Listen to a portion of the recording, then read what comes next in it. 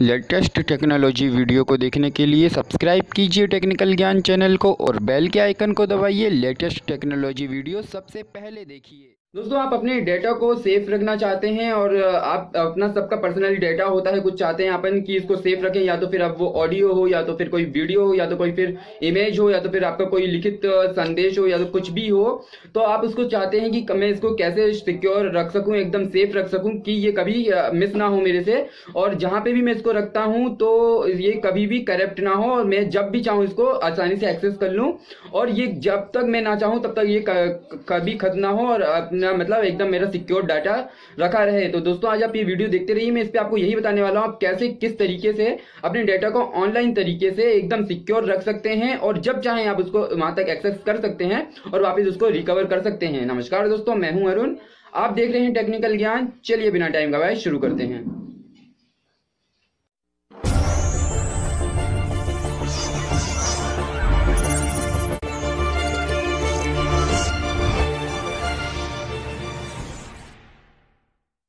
बात आती है, जब अपने डेटा की तो अब अपन खुद सोच सकते हैं, आप खुद सोच सकते हैं, कि आपका वो डेटा कितना कीमती है, आपको कितना काम का है, और अगर वो मिस हो जाता है तो आपको कितना नुकसान हो सकता है। तो दोस्तों, अब आप इसके लिए सोचते हैं कि मैं कहाँ पे अपने डेटा को अच्छे सिक्योर रखूँ तो वो जब मैं चाहूँ, उसको एक्सेस कर सकूँ। जैसे आप तो ऐसे में आप लोग काम में लेते हैं कि आप अपने मोबाइल में उस डेटा को सिक्योर रख लेते हैं, या तो आप अपने पीसी में रख लेते हैं, या तो फिर एडिशनल हार्ड डिस्क में रख लेते हैं, या तो फिर कोई पेन ड्राइव में इसको आप लोग सिक्योर रखते हैं। तो अब इससे ऐसा होता है कि कभी कभार अपना मोबाइल मिस हो जाता है, कभी अपने आप रीसेट हो जाता है, इसके बाद या तो फिर आपकी कभी मेमोरी कार्ड करप्ट हो जाती है पेन ड्राइव करप्ट हो जाती है, या तो फिर आपका जो कंप्यूटर है वो खराब हो जाता है तो ऐसे में डेटा को खोने का डर बना रहता है। तो दोस्तों, अब मैं आपको आज ऐसे एप्लीकेशन के बारे में बताने वाला हूँ, जो एकदम आप अपने डेटा को उस पर ऑनलाइन कर सकेंगे और अपने डेटा को एकदम सिक्योर रख सकेंगे। तो दोस्तों, जी हाँ मैं आपसे बात करने वाला हूँ गूगल ड्राइव के बारे में। दोस्तों, इसका नाम तो आपने सुना होगा। दोस्तों, इसके लिए ये जो गूगल ड्राइव है, आप इस पे अपने सारी डेटा को, चाहे फिर आपके वो कोई वीडियो हो,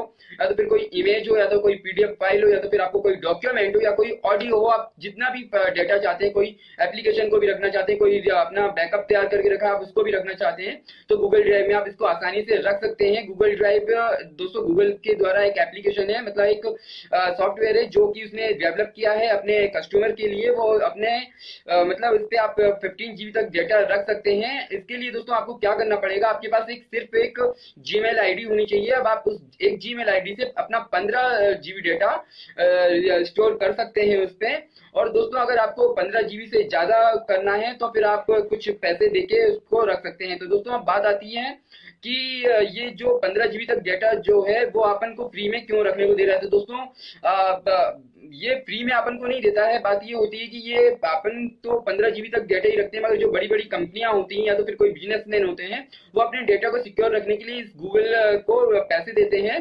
तो उनसे इसकी बहुत अच्छी खासी कमाई होती है। और इसीलिए ये अपन को सभी कस्टमर को एक जीमेल आईडी से पंद्रह जीबी डाटा स्टोर करने का स्टोरेज देती है। और अगर आप मल्टीपल जीमेल आईडी यूज़ करते हैं तो आपको और ज़्यादा डेटा आप सिक्योर कर सकते हैं।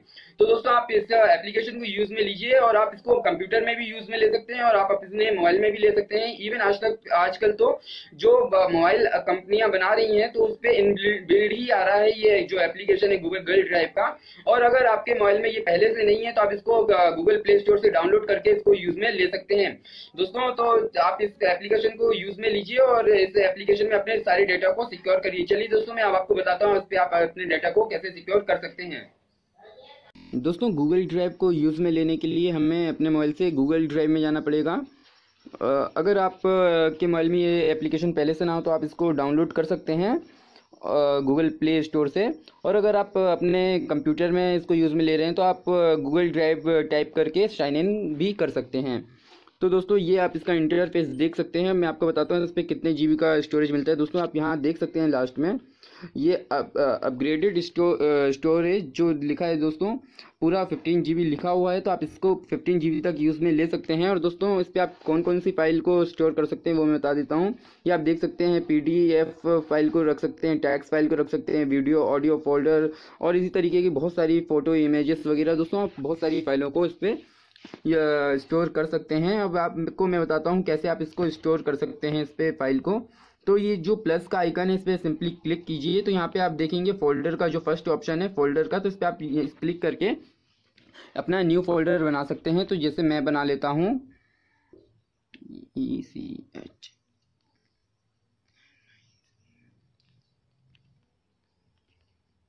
टेक्निकल ज्ञान करके।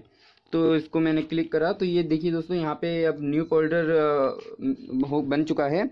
अब मैं इस पर जो फ़ाइल है उसको स्टोर करके दिखाता हूँ दोस्तों। तो ये अपलोड का जो ऑप्शन है, इस पर आप सिंपली कर क्लिक करेंगे। तो यहाँ पे मैं जो भी फ़ोटो में क्लिक करूँगा, वो यहाँ पे स्टोर हो जाएगी। दोस्तों, ये स्टोर हो चुकी है, देख सकते हैं आप।